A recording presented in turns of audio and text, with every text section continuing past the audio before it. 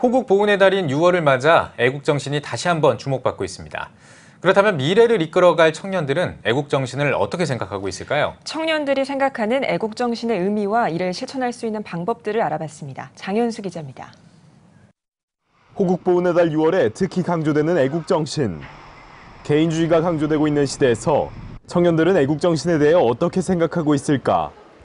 나라가 안전해야 그 울타리 속에서 개인도 안전할 수 있다며 애국정신을 강조하는 의견이 있는 한편 애국정신은 일상생활에서 먼 이야기라는 의견도 있었습니다.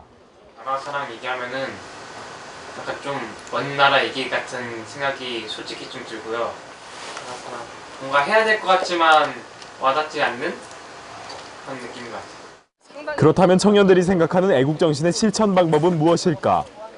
국익에 도움이 될 수 있는 자아실현, 자국의 어려운 이웃을 돕는 봉사활동 등 다양한 방법들이 꼽혔습니다. 뭐 아이들을 위한 봉사라거나 아니면 어르신들을 위한 그런 여러 봉사들이 있잖아요. 그런 것들이 그 나라를 위해서 저희가 할 수 있는 하나의 방법이라고 생각하고. 약간 최근에 많이 이분법적으로 생각하는 것 같은데, 그러니까 나라와 나 개인의 삶을 많이 분리해서 느끼는 것 같아요. 근데 이제 결국에 자기 자신의 삶에 집중하고 자기의 가치를 실현하는 게 나라를 위한 거라고 생각하기 때문에 청년들이 좀 더 자기 위치에서 많은 활동을 해나갈 수 있으면 좋겠습니다. 호국정신 권위자들은 국방의 의무를 다하고 납세와 선거 참여 등 국민으로서 해야 할 일들을 젊은 시절부터 몸에 익히는 게 청년들이 할 수 있는 애국 실천의 첫걸음이라고 말합니다.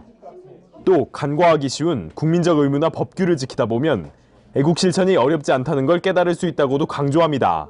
청년들은 다음 세대의 나라를 이끌어가는 주역들이기 때문에 더욱더 그 나라 사랑하는 정신이 중요하다라고 봅니다. 교통법규를 뭐 지키지 않는다든지 담배꽁초를 암대나 버린다든지 이런 것들은 좀 우리 젊은 이들이든 뭐 우리 모든 국민들이 좀 실생활에 에, 지켜야 될 것 같고요. 청년들이 북한에 대해 관심을 갖는 게 애국 실천의 일환이 될 수 있다는 주장도 있습니다.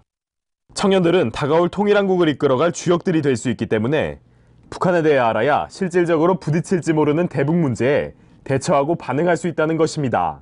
북한에 대해서 거의 그 청년들은 좀 무관심인 것 같아요.